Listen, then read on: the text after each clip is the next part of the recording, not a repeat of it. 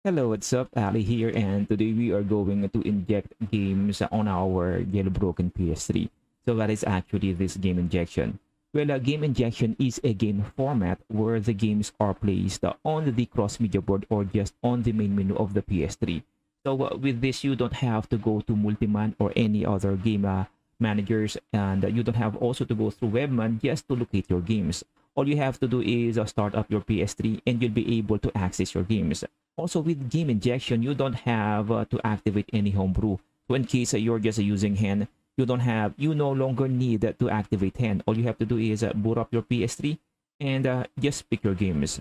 But there are still some limitations with this because uh, not all games can be converted to injection and you still have to jailbreak or activate your homebrew before you'll be able to inject your games. But once the games have, have been injected, um, you don't have to activate anything. All you have to do is uh, start up your PS3 and uh, look at your games or choose your games.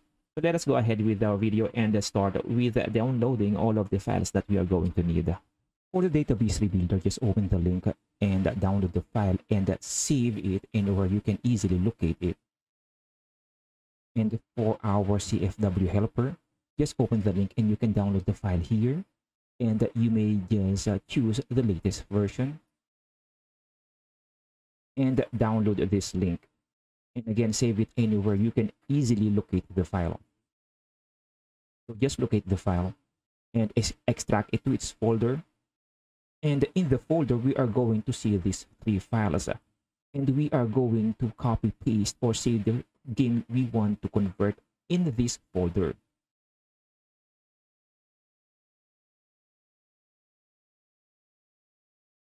For the game, I choose uh, Castlevania and uh, we are going to need the PS3 game folder of the dump. We just uh, copy the game, copy the PS3 game folder and paste it in the same folder of our CFW helper.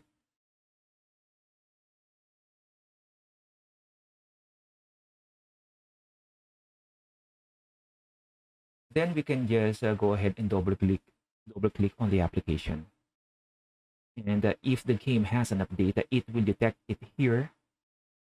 And uh, the system or the program will just uh, go ahead and convert the file. But if the game has no update you will also know it here and it will just stop.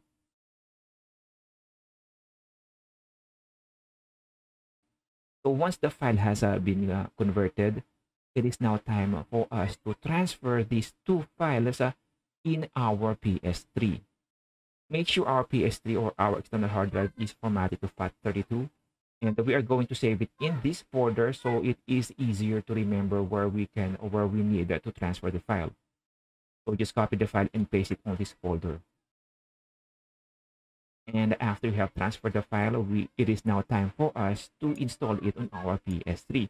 So just plug in our USB on our PS3. You will know that it has been detected if you can see the icon here. Once you see the USB icon, that means that your PS3 has already recognized your USB. Now it's time for us to install our KDW database rebuilder. Actually, I have already installed it here. So let, let us just go ahead and install it for the purpose of this video. And I'll also leave the link uh, of our Multiman in case you don't have Multiman yet. Just install your Multiman and uh, we are going to use Multiman to transfer the files that we are going to install.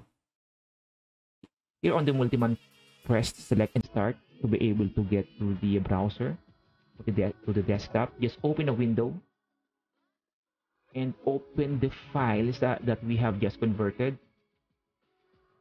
and open another window and we are going to save it uh, inside HDD0 and game let us copy these two files and save it here inside HDD0 game. And we'll just have a wait for it to finish.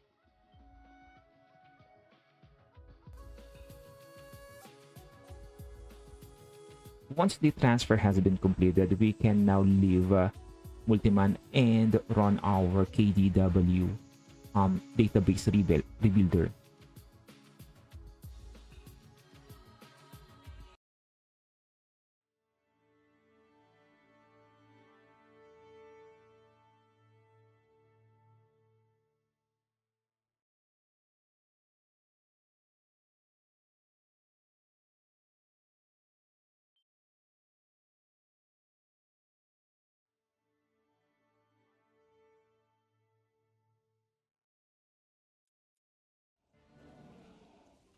Though uh, it is easier to just dump the games and uh, transfer them to your PS3 uh, compared to injection where you have to go through all that process.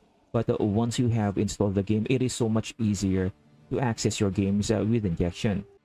And uh, personally, if the game has or can be injected, I always inject them because I find it rather you know, um, time consuming to have to go all the to have to go to multiman or any game managers just to get to your games but uh, you won't be able to inject PS1 and PS2 games so you will have uh, to use your game managers for that. So this is it for our video but before we end the video I'll just have uh, to make a quick update for our PS3 Xploit or for the new host of our PS3 Xploit. Fortunately uh, the PS3 Xploit team has uh, been able to port the CFW tools uh, for us to be able to finally install CFW on our PS3 but only again for only those who are compatible for the CFW but uh, your PS3 must be on uh, firmware 4.88 or below.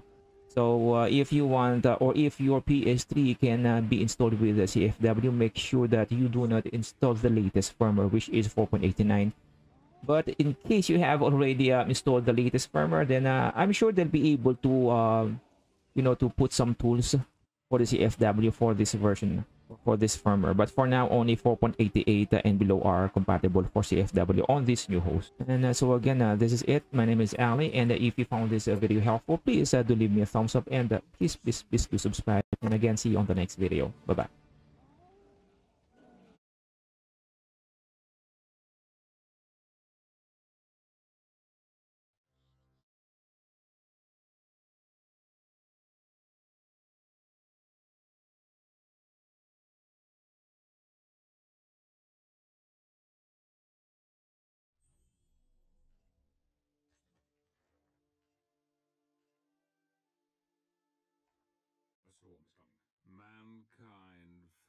faces ruin and despair. The world is changing, yet hope remains in the hearts of the people. We go about our daily lives never knowing the forces.